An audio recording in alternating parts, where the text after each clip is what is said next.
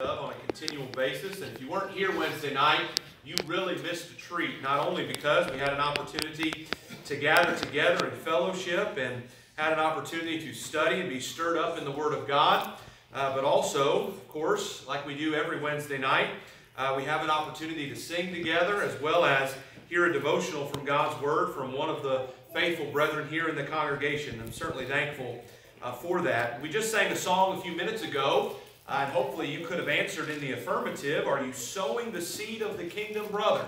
Uh, are you sowing the seed? And as we strive to do so, oftentimes we come across certain situations where other folks are trying to sow their seed. They're trying to sow their doctrine, their belief system, their understanding uh, of what men have taught them and uh, what maybe mom and dad or grandma and grandpa have taught them. And as we experience these types of situations, we might find ourselves in studies where we are trying to present the truth of the gospel while at the same time they are trying to present their ideology. They're trying to present their ideas. And certainly, this should not discourage us and it should not cause us to shy away from them and shy away from those types of studies. But rather, as we continue to engage in such evangelistic practices, we will find uh, common trends and common uh, situations that folks generally tend to uh, find uh, their favorite kind of go-to approach to salvation and we can become quite familiar with their understanding and then as well how we can respond to it and how we can hopefully teach them the gospel and sow the seed of truth into their minds and into their hearts. One of the approaches that folks will use is what's called the Roman road. In other words, if I'm trying to teach someone the gospel, I'm going to use the book of Romans and I'm going to take them on a journey down the Roman road so that they can end up in a saved state with God. Now, that may be something you're familiar with. It may not be something you're familiar with. If you are familiar with it and maybe you weren't sure exactly how to deal with it at the time, now hopefully we can study this topic together. If you're not familiar with it, you thought, well, I've never heard someone say that before, then this is a preparatory course so that you can be ready because quite often our denominational friends will use an approach such as this so you can be prepared. Maybe it's a neighbor Maybe it is a fellow classmate, someone at school. Maybe it's a teammate on one of your sports teams. Maybe it's a coworker. Maybe it's a family member that you're going to be studying with or talking with about Jesus one day, and they might try to use this type of an approach. And one of the things that we're going to look at in this study is what we can do as we become stronger in our knowledge, in our conviction, and how comfortable we are with God's plan of salvation is to stay with people in their own approach, but to question, to ask, and to challenge them regarding the way and the direction that they are trying to go in.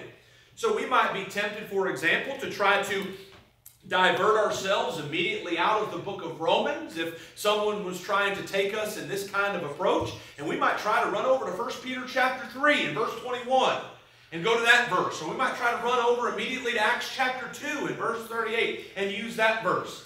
Uh, and certainly those would be accurate approaches. Those would be correct verses. Those verses matter just as much as these verses that we're about to look at matter.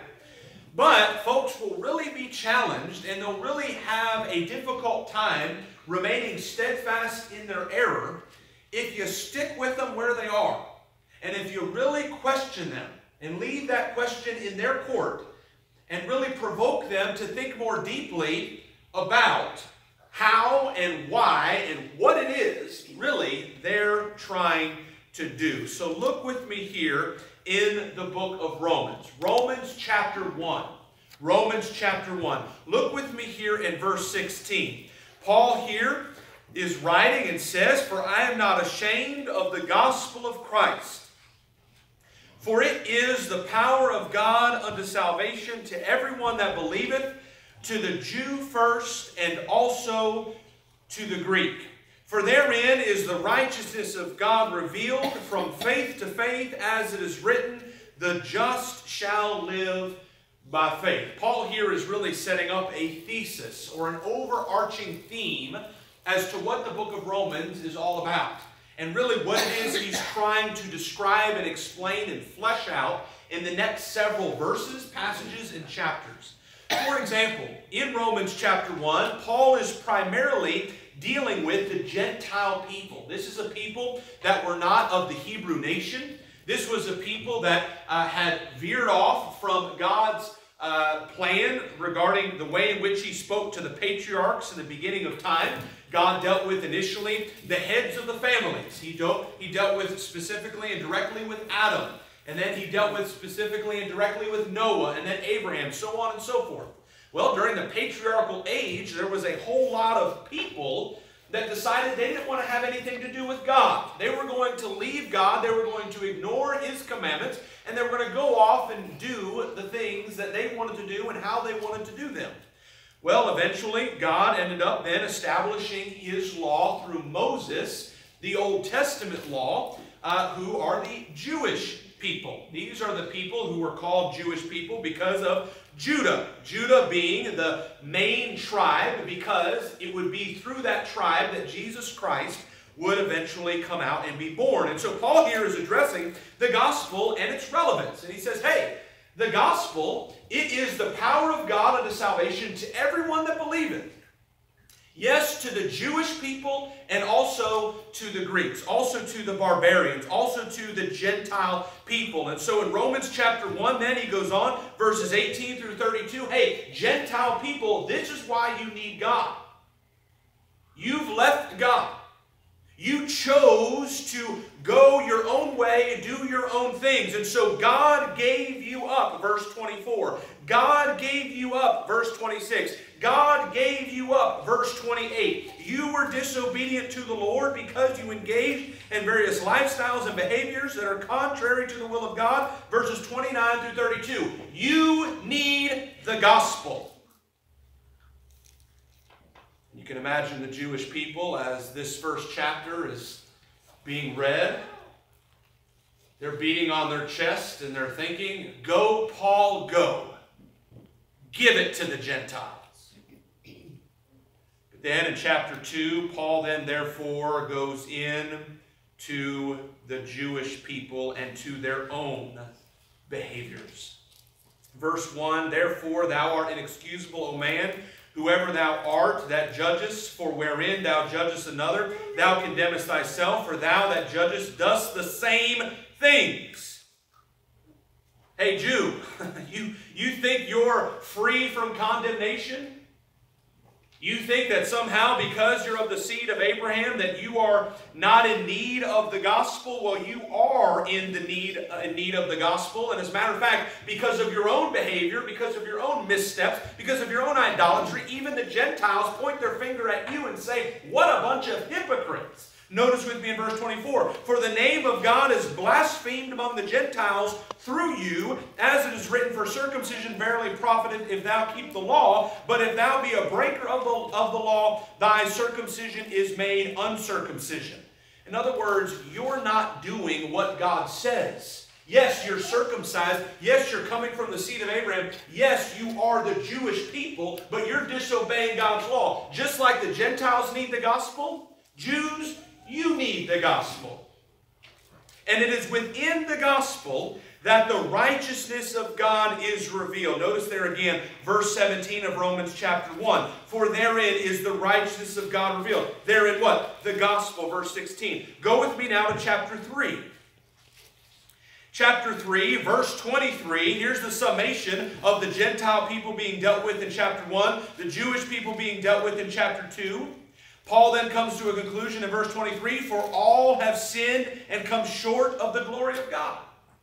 All people of all types need the gospel. Verse 25, whom God hath set forth, that is Christ Jesus, note verse 24, to be a propitiation through faith in his blood, to declare his righteousness for the remission of sins that are past through the forbearance of God. In other words, the gospel was God's plan all along. God told Adam and Eve in the garden in verse 17 of chapter 2 that they would die. that they were not to be eating of the tree of the knowledge of good and evil. Eve understood this as she explains this to the serpent in Genesis chapter 3. How did that death then get carried out? What violent death was eventually then used because of the sins of mankind? Jesus Christ. And so the righteousness, the justice of God is declared via the gospel. Jesus Christ is the sacrifice because all of mankind have sinned. And all need the gospel.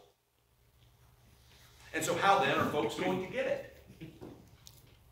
How are we going to even become aware of the gospel? Well, let's stay on the Roman road. Go with me to Romans chapter 10. Romans chapter 10, and look with me here, beginning in verse 14. How then shall they call on him in whom they have not believed? And how shall they believe in him of whom they have not heard? And how shall they hear without a preacher? And how shall they preach except they be sent? As it is written, How beautiful are the feet of them that preach the gospel of peace and bring glad tidings of good things. But they have not all obeyed the gospel. For Isaiah saith, Lord, who hath believed our report? So then faith cometh by hearing, and hearing by the word of God. The gospel is the source, is the authority of God by which mankind can be saved. But folks, mankind must first hear that message. They must understand that message. And in order for that to happen, preachers, teachers, those that are declaring it, must indeed declare it so that it can be heard and it can be understood. The gospel is not something that if you want to be right with God, you can take your Bible, you can put it under your pillow, and then eventually God's Word is just going to migrate into your brain. It's not going to happen that way. The gospel is not going to be heard and is not going to be understood because simply your parents do what God says and bring you physically here to this building. You're not going to learn the gospel just because you're sitting in a pew. Learning the gospel requires, number one, the teaching of it, but number two, the hearing, the reading, the studying, the understanding of it. And so, in order for folks to actually have access to this source of salvation, the plan of salvation, God's word must be heard then it also must believe. Be believed. You heard what Paul said there in chapter 1 verse 16. He's not ashamed of the gospel of Christ, for it is the power of God unto salvation to everyone that believeth. A belief in the death, the burial, the resurrection of Jesus Christ. Salvation is not possible without that belief. Staying there in Romans chapter 10, look with me here in verse 11. Paul writes once again regarding belief. He says, For the scripture saith, Whosoever believeth on him shall not be ashamed. Folks, belief is required. Now, who is it that Paul is dealing with in the context of this chapter? He's coming back to his Jewish brethren. In other words, brethren via the lineage of Abraham, brethren in the flesh. And he's hurt. He's conflicted because of the knowledge that they have regarding the one true and only living God, but their unwillingness to actually do what it is that God has delivered forth for them to obey. And so Paul explains, beginning there in verse 1 of Romans chapter 10, Brethren, my heart's desire and prayer to God for Israel is that they might be saved. The nation of Israel, the Old Testament people of God, the Jewish people, the people that were dealt with in chapter 2, they're not saved. And my prayer to God, what is prayer? It's defined for us actually right here, side lesson altogether. Paul has a desire, his heart's desire, his mind's desire, his focus. What does that translate into? It translates into prayer. When Paul desires something, what does he do about it? He prays to God about it. And so Paul desires that his Jewish brethren, the nation of Israel, be saved. For I bear them record that they have a zeal of God, verse 2, but not according to knowledge. For they, being ignorant of God's righteousness and going about to establish their own righteousness, have not submitted themselves unto the righteousness of God. For Christ is the end of the law for righteousness to everyone that believeth. Now, why is Paul dealing with belief then later on in the chapter? He's dealing with belief because of the conviction and because of their allegiance and loyalty to the Old Testament law. They're not willing to give it up. They're not willing to put aside the law of Moses. They're not willing to say the Old Testament has been completed. It's finished. It's now time to no longer be the nation of Israel, but it's time to be the nation under Christ. Paul acknowledges here the zeal that they have. The fact that indeed they want God. There is a sincerity there. There's a passion there. There's a zealousness, a drive when it comes to being with God. Paul says it's not according to knowledge. You're not actually in step with what God wants. And so the gospel must be heard and it must be believed. and the challenges that you have as a Jewish people regarding the Christ, the one that you put up on the cross, you must overcome those. You must believe that he is the Messiah, and you must confess such. Verse 10. He explains, For with the heart man believeth unto righteousness, and with the mouth confession is made unto salvation. Jewish people, my brethren, physically, in the flesh, my fellow citizens in the Israel nation. If you want to be right with God, you must believe that Jesus Christ is the Messiah. You must confess that He is God. As a matter of fact, he says as well in verse 9 that if thou shalt confess with thy mouth the Lord Jesus and shalt believe in thine heart that God hath raised him from the dead, thou shalt be saved. Give up your allegiance to the Old Testament law. The purpose, the goal of it all was Christ. Verse 4. The whole reason it was even delivered was so that Christ could come about. Verse 4.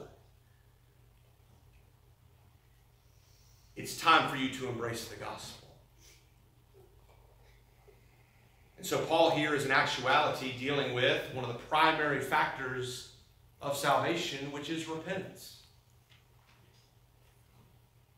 He's explaining to them the need for them to believe, the need for them to confess. Certainly, none of this is possible without actually hearing and understanding the gospel. But penitence, a change of mind, a willingness to say, I'm not going to do it based upon the law of Moses any longer. I'm not going to try to obey the Old Testament law. I'm now going to cleave unto Christ and unto the gospel that he died and that he was resurrected and that he is the one that I should obey. It's time to repent. So, therefore, we have the context then of chapter 10. But in the Roman road approach by our denominational friends, oftentimes this is where we would stop. We would cease our study at this point. We would then ask the individual whether or not they understood what was read here. Confession would be desired. The questioning of the belief of the individual with whom we were studying would be asked. And we would go on our way. But, folks, the Roman road is not complete. There's more in this book that Paul deals with. One of the challenges about preaching is, believe it or not, there's so much to say.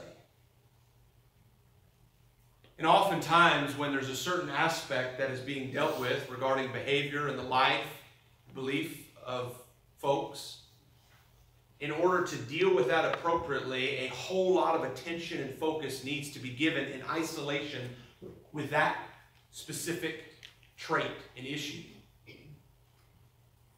But then, given the context of other individuals and given the context of how that is heard and understood, because that's being dealt with in isolation, other folks may misunderstand it and take away and think, well, this is then the chief thing. None of this other stuff matters. Obviously, this is the one thing that I need to deal with.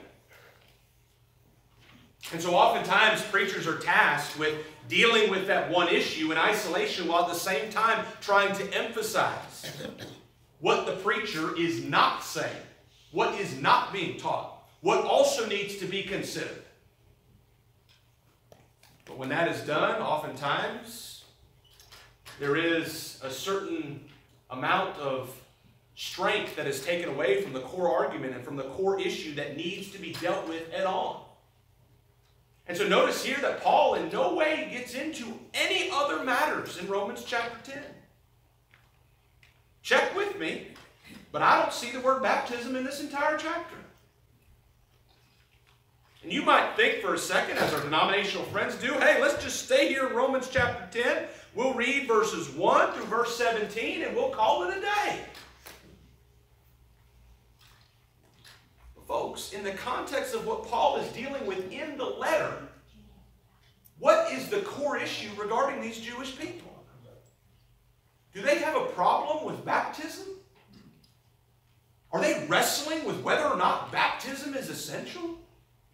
If you do a study of baptism, not for salvation, not baptism into Christ, but if you just do a study of the act of baptizing, in other words, literally being immersed in water, just that act, folks, it was something that's been done for a long time. The Jewish people were familiar with it.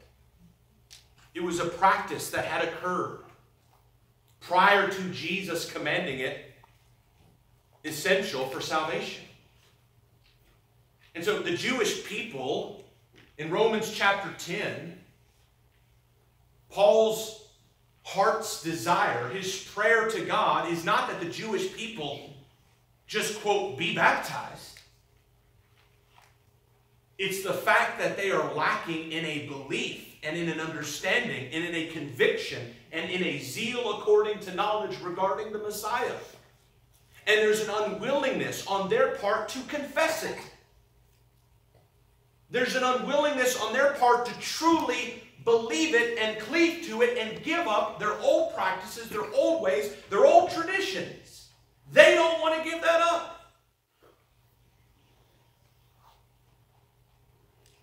And so in Romans chapter 10, Paul's going to muddy the water. He's going to take away from the core argument that he's trying to deal with with these Jewish people regarding what they need in order to be converted, which is a belief and a confession in Christ. And folks, once they believe, once they confess, Paul knows that they've repented. They've changed their mind. They've given it up. And so after that point, being baptized isn't a problem. And in Romans chapter 6, Paul deals with what the brethren there in Rome, those who were already Christians, did in order to be right with God. The Roman road is not just Romans chapter 1, verses 16 and 17, and then flip over Romans chapter 10. We can go in that order. But we're going to have a bridge not finished yet and fall to the bottom of the cliff. If we stop there in Romans chapter 10, we got to go back now to Romans chapter 6. And Paul explains unto them, notice in verse 3 beginning, Know ye not that so many of us, as were baptized into Jesus Christ, were baptized into his death? Now, what had Paul said in chapter 1 and verse 16? He said, I am not ashamed of the gospel of Christ, for it is the power of God unto salvation. What did he say in Romans chapter 10? Romans chapter 10 in verse 9, he says, If thou confess with thy mouth the Lord Jesus, and shalt believe in thine heart that God hath raised him from the dead, thou shalt be saved. Now, in Romans 6 and verse 3, what Paul is dealing with here is the fact that those who were baptized were baptized into the death of Christ. Does that matter? Absolutely.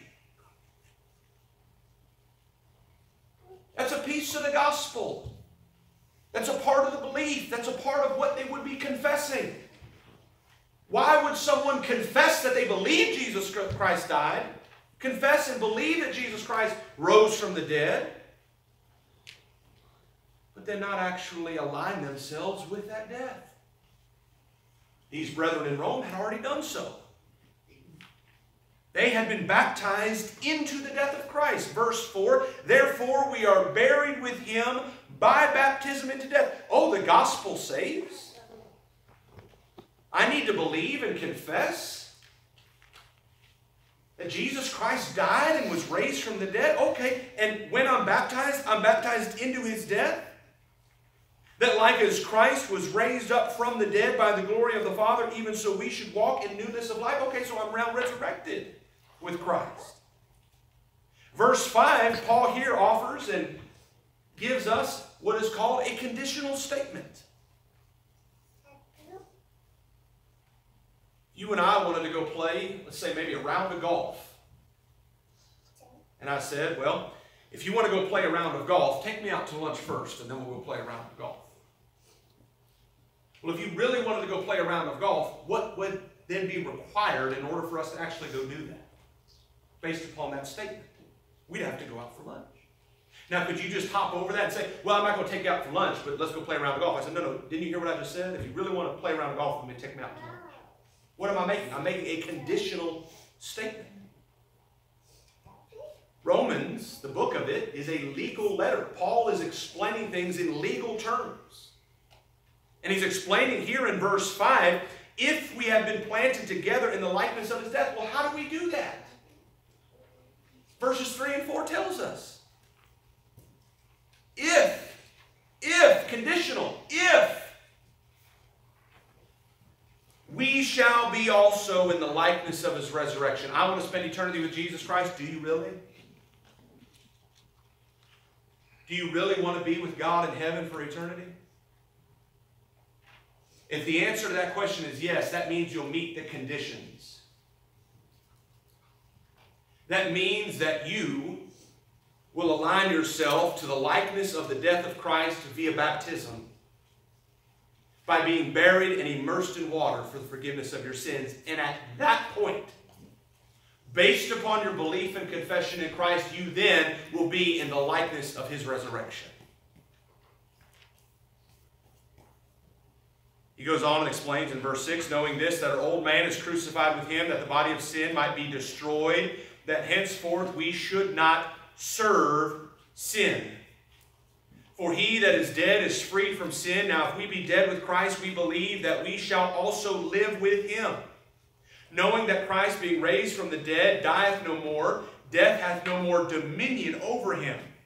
For in that he died, he died unto sin once, but in that he liveth, he liveth unto God. Likewise, Reckon ye also yourselves to be dead indeed unto sin, but alive unto God through Jesus Christ our Lord. Let not sin therefore reign in your mortal body, that ye should obey it in the lust thereof. Verse 14, For sin shall not have dominion over you, for ye are not under the law, but under grace. In other words, you have now made a decision to give up your sinful life.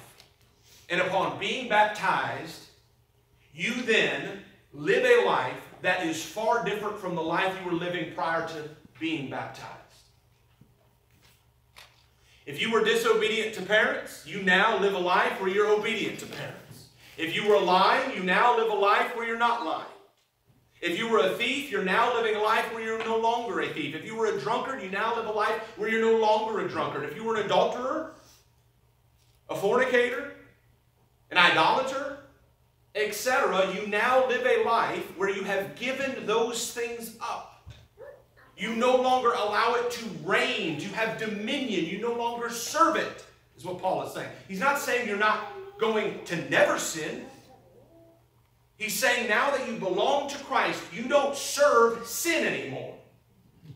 You don't allow it to have dominion over you. You now live for a different purpose for a different objective. And that purpose is the gospel. The Roman road, in its entirety, based upon what the book of Romans provides to us, gives us salvation.